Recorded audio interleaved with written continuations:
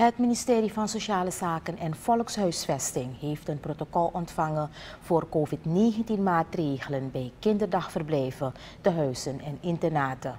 Het protocol moet ervoor zorgen dat binnen deze opvangplekken er veilig gewerkt kan worden. In dit protocol is opgenomen dat binnen deze instellingen kinderen van 0 tot 12 jaar geen mondkap hoeven te dragen.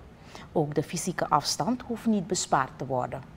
In een persbericht heeft het geeft het ministerie aan dat uit wetenschappelijke cijfers is gebleken dat kinderen in deze leeftijdsgroep het virus niet kunnen overdragen. De leeftijdsgroep 13 tot en met 18 jaar hoeft ook geen onderlinge fysieke afstand te bewaren, maar moet wel een mondkap dragen.